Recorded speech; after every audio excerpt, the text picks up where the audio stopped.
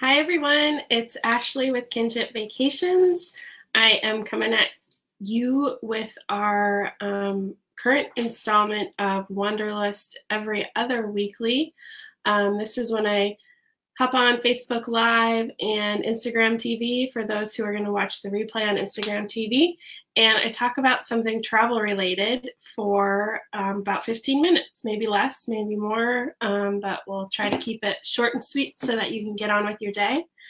Um, I had done this for a while every Wednesday, and then it just fell by the wayside. So I decided it was more doable for me to do this every other week. So now we are doing it every other Friday, hence the new name Wanderlust every other Friday or every other weekly. Um, and so uh, thanks for tuning in. I'll be joining back two weeks from now and we'll be talking about a different topic. Um, For those who are new to the Kinship Vacations world, we're a full service travel agency and travel concierge firm.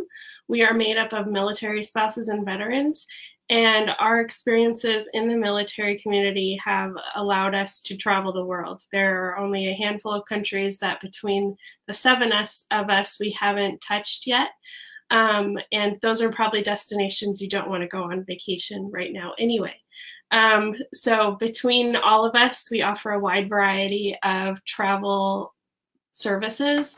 Um, we've got family travel experts, we've got girlfriend getaway experts, beer travel experts, um, history, art history, wine. Um, we've can cover almost every geographic area there is. So um, if you are thinking about planning a vacation and you really want to get away to reconnect, because that's really our special sauce, is enabling for you to have an exceptional vacation experience where you can reconnect with the people that matter the most with you or make new friendships with people if you're traveling in a group and um, are trying to experience something that you share an interest in together.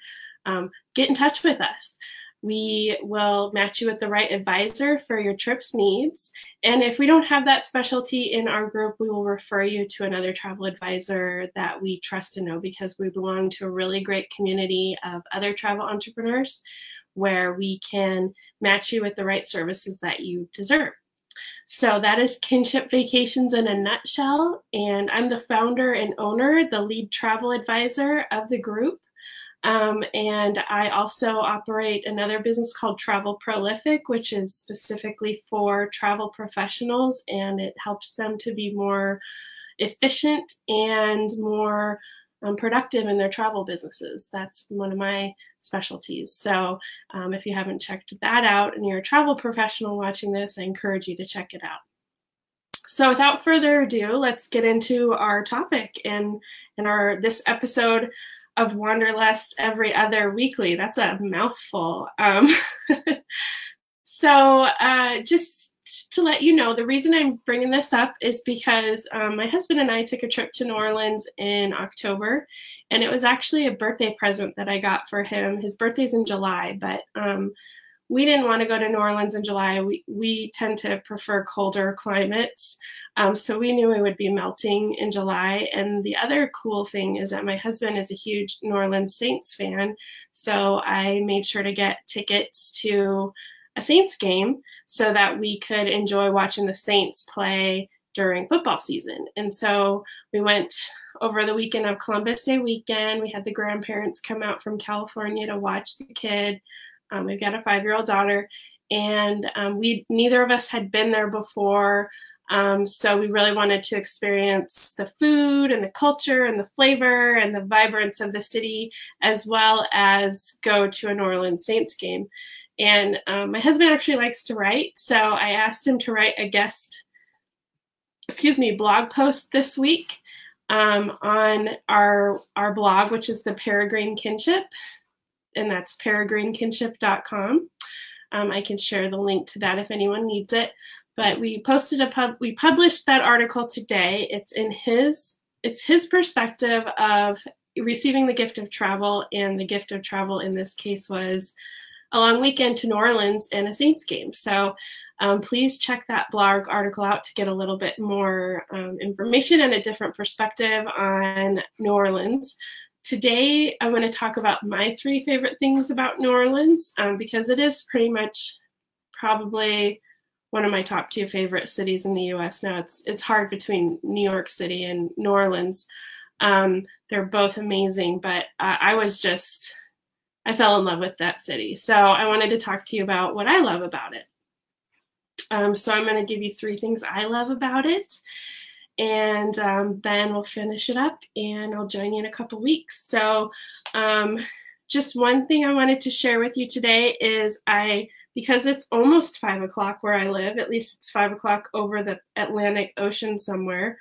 Um, I wanted to make myself a cocktail and I wanted it to be sort of New Orleans based. And I can't do whiskey drinks, so otherwise, you know, a cognac or a brandy or a bourbon based drink would have been, you know, ideal like a Sazerac, but I can't do it. So I made myself a um, gin with Saint Germain, the elderflower liquor, uh, topped off with some soda water and a dash of Peychaud's bitters, which is a New Orleans style bitters. So if you're looking for a New Orleans, forgive me, I'm using two different screens to film two different orientations. That's why I did the first screen first. Um, so that's what I'm drinking. So cheers to the weekend. And without further ado, I'm going to talk about my three favorite things about New Orleans. And while I'm talking, I'm just going to show you like a little slideshow of our experiences there. Um, because we had, let me, oh, I'm doing it backwards. Hold on. We had a fun time. So I'm just going to, this is just going to be playing in the black, background while I talk. and I can share a little bit with you about it, but um, it's kind of this is our experience. That's me and my husband. Uh, that's Bourbon Street. That's a um, oh my gosh, what do you call it? It's the parade. They they do they make an excuse to do a parade. Um, there's an, a, a real name for it in New Orleans, but they make an excuse to do a parade for weddings and funerals, and that was a LGBT parade of some sort um, but they're fun to see. Of course, I took pictures of the cute shoes because we were shopping. Um, that is them making a bananas foster at Brennan's. Um, this is inside the Funky Pirate Bar, a blues club in the French Quarter. Um, just kind of, that's us being goofy. that's just a really pretty building in the French Quarter. This is the World War II Museum. This is sort of an unknown or little known fact the World War II Museum in New Orleans is a fantastic museum. If you have any inclination to understand military history, it's a great opportunity to get immersed in World War II. That is, um, this is down by the market. This is inside a market where we had a famous muffaletta sandwich, a New Orleans specialty. This is where we ate before the New Orleans game or Saints game. And at this particular game, Drew Brees, the quarterback, um, surpassed the all-time NFL record for um, passing yards. So we got to witness that from some really good seats. And that right there was um, Cafe du Monde with their famous uh, beignets, the fried donuts with the powdery sugar on top. And then here is a picture of Central Grocery's muffaletta sandwich um, which I'm going to talk a little bit more about the food next. But that's just like a little snapshot of our experiences in New Orleans. I hope you guys enjoyed that.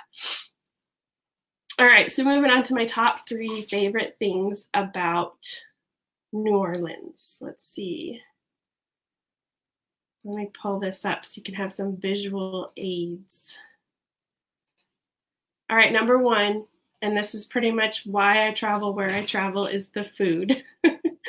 it should be of no surprise to you, considering how many pictures of food I've showed you guys.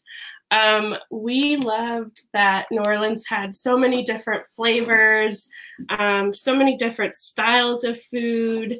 Um, there's no shame in adding spice or fatten it up. Um, the food is just delicious um, and just diverse. So you know, to give you an idea, we um, we did take a food tour as part of our trip, and the the food tour guide took us to a dive bar um, in the Garden District, or in, I think the East Garden District. I'm not sure what it's called. Um, and we had a po' boy, and we talked about um, what it means, to, what a po' boy sandwich means, and why they came about, and how like one of the defining characteristics of a po' boy is the type of bread.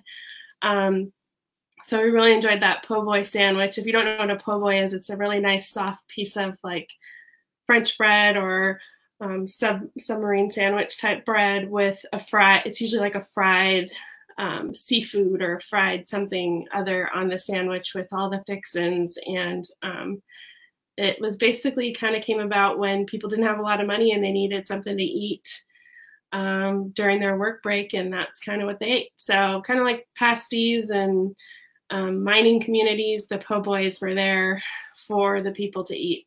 Um, then there's stuff like the jambalaya and the oh my gosh, I'm like gonna miss everything. Um, oh, the second place we went was a Korean fusion restaurant, and they did um, like buns with uh, with Cajun and Creole infused flavors.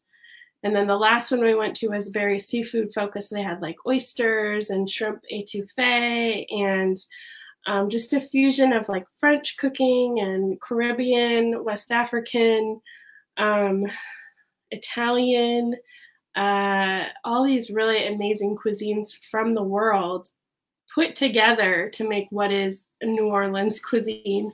Um, and then on one of our tours, it was led by a chef, and he recommended, and it was probably the best tour we went. It was of the French Quarter um, he recommended this cookbook, so we ended up buying it. It's Paul Prudhomme's Louisiana Kitchen. It's pretty old school. It's probably published in the 80s or the 70s, but it's pretty standard cookbook. And we've been cooking stuff out of this recipe book.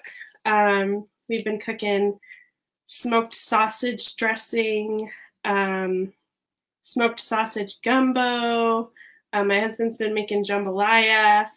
Um, yeah, I mean, we've just been like one of the one of the foundations of food in New Orleans seems to be a combination of peppers, um, fresh peppers and dried peppers, and like that's sort of the base of everything. It seems like is just sautéing those peppers down with some dried pepper and throwing whatever meat or protein or rice or whatever in it, and then everything's very flavorful so the food's fantastic.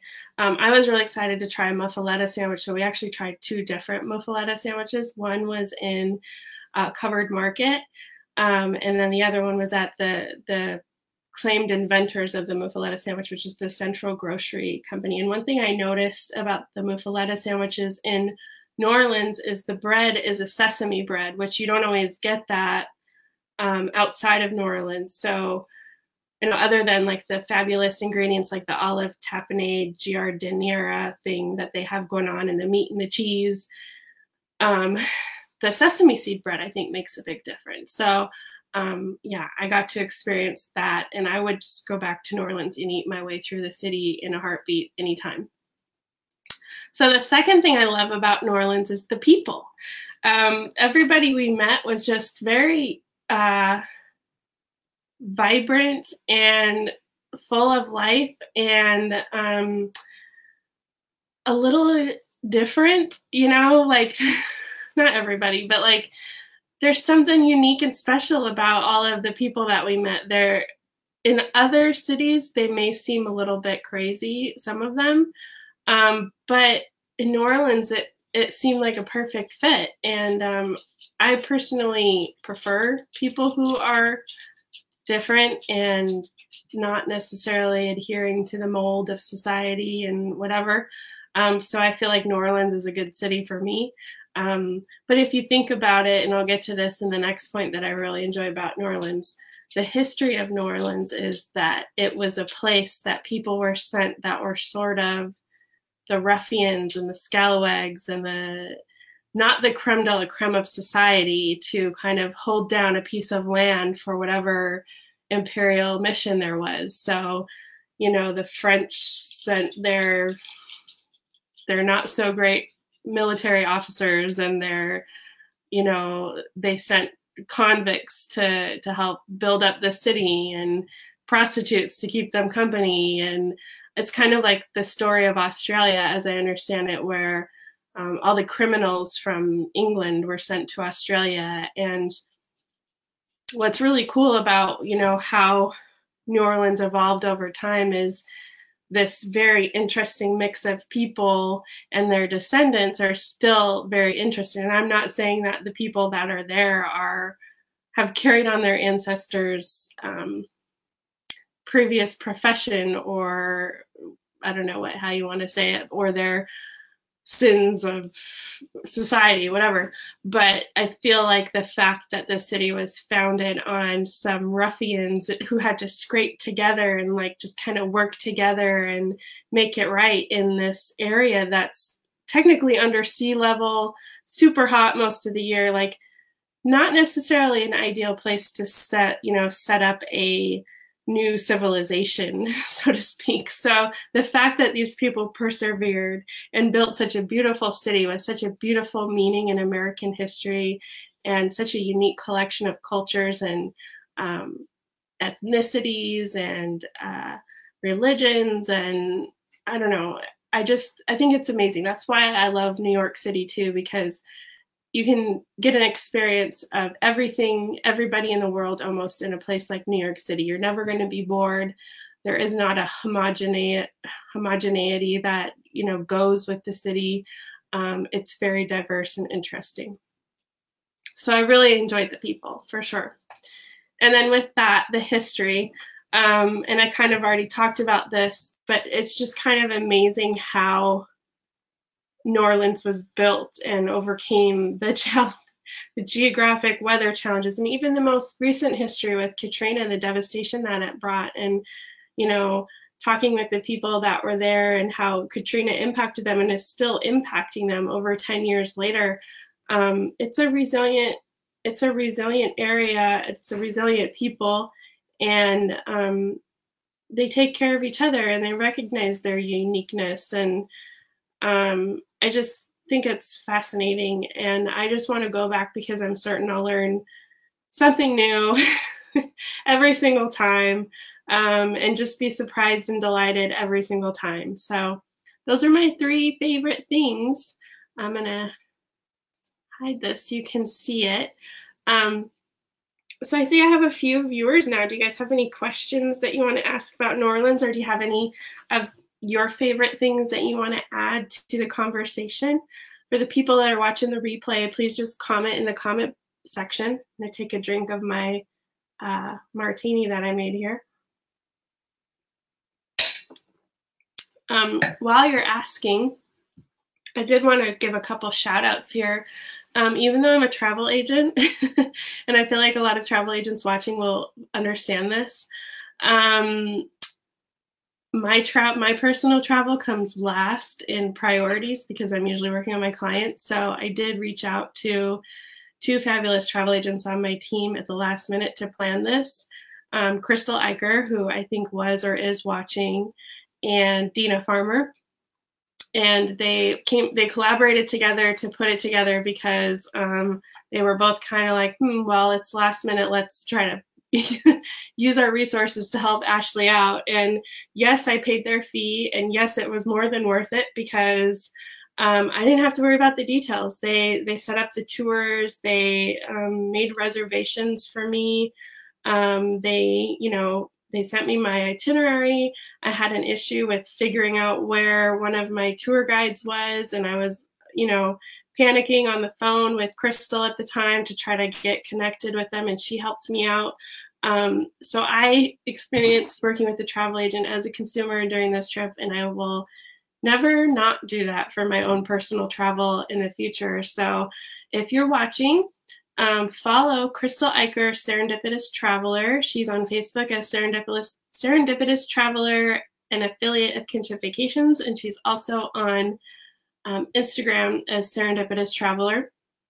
Dina Farmer is Dina with Kinship Vacations on Facebook, and she's also Kith and Kin Travel on Instagram. So um, check them out; they're amazing. I also got to meet up with a fellow travel agent while I was in New Orleans, um, Shannon Cunningham LeBlanc, the owner of Paradise Vacation Escapes. And she's a fabulous romance travel planner and um, she's from New Orleans. So we met up and ate at a really great restaurant before the game, and um, we walked to the game together. And uh, if you know, it's just kind of cool to experience the city with a local. Um, and I just love Shannon. So that was a, a nice treat for me for sure. Let me just check and see if I got any questions. No questions so far. That's cool.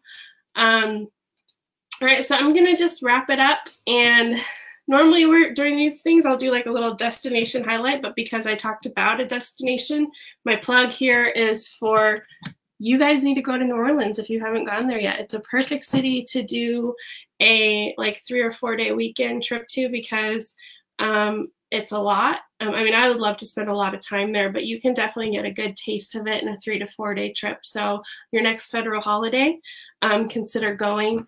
I personally would go in the winter, fall, spring months because it can be really hot there in the summer. Um, and even if you're not a Saints fan, but if you do like football, consider going to the Saints football games because I mean, I've been to several NFL football games and I honestly considered converting to a full time Saints fan because the the experience there is fun, the fans are good. Um, it's just a great experience. So just go uh, because you'll have a good time. Um, yeah, so that's my plug for New Orleans. And uh, my favorite things are food, people, and history. And that's probably not that much of a shock for you if you're watching and to know anything about New Orleans because that's what people mostly say they love about New Orleans. So that is it. Um, if you guys would like, I am going to create just a one page overview of my favorite, you know, restaurants, uh, spots, um, bars, a couple hotels, like just a one page overview of New Orleans. If you guys would like it, um, go ahead and sign up in, it's in the comments of this page um, to on our Wanderlust weekly notification. Uh, and basically what it'll do is it'll sign you up to be notified next time we go live for Wanderlust Weekly so that you can tune in in your email. Um, and when you send, sign up for that, I will send you that one page overview of New Orleans of my favorite spots. And um, if you're looking for somebody to plan your next trip, to New Orleans or anywhere else pretty much, please reach out to Kinship Vacations. Just go to our website, which is kinshipvacations.com. And there's a section where you can fill out your or start filling out your trip planning form. It's right on the very top of the page. Um, it says start planning your trip. Start planning your trip. Have a travel advisor take care of all the details for you.